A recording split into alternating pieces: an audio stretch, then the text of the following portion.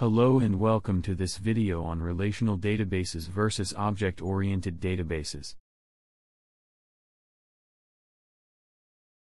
What is a database?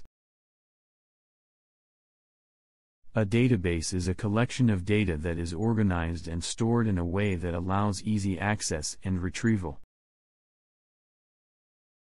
There are two main types of databases, relational databases and object-oriented databases.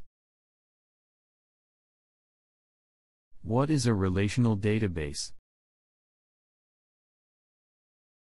A relational database is a type of database that stores data in tables, with rows representing records and columns representing fields.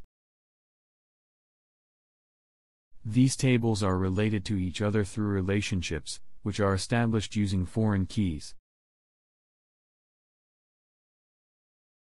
This allows for data to be linked and queried in a structured way. Benefits of relational database 1. Simplicity of model, 2. Ease of use. 3. Data integrity and accuracy. 4. Normalization, 5. Data security. Examples of relational database Some examples of relational databases include MySQL, Oracle, and Microsoft SQL Server.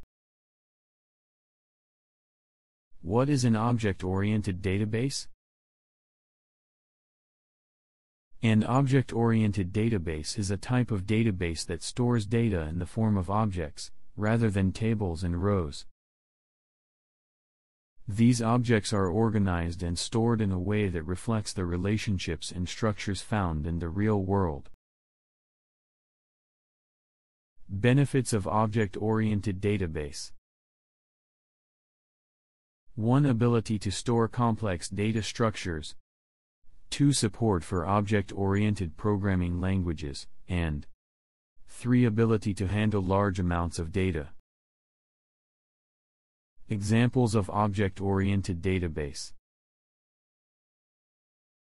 Some examples of object-oriented databases include MongoDB and Cassandra. So, which type of database is right for you? It really depends on the needs of your project. Relational databases are great for structured data and complex queries, and they offer strong consistency and transactions. Object-oriented databases, on the other hand, are better suited for handling complex data structures and large amounts of data, and they offer more flexibility in terms of data modeling. Ultimately, the choice between a relational database and an object-oriented database will depend on your specific needs and goals.